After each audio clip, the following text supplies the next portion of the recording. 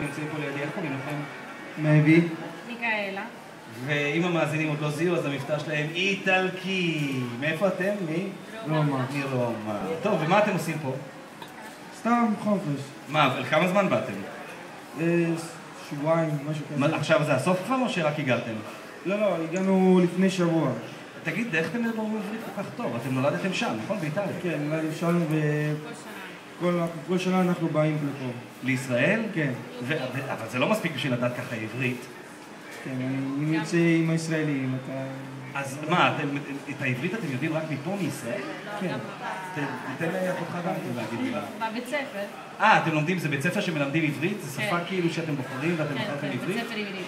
יפה, אז כאילו איטלקית זה שפה ראשונה ועברית זה שפה שנייה שמלמדים? אה, לא ידעתי שיש דבר כזה, זה נחמד. ומה אה, מבחינת החוויות שלכם פה בארץ? איך אתם נהנים? מה אתם עושים בינתיים? מיכאלה, אני מקווה שקנית פה חצי מהמתחם, נכון? איזה עברית יפה יש לכם, ממש מרשים, אתה יודע?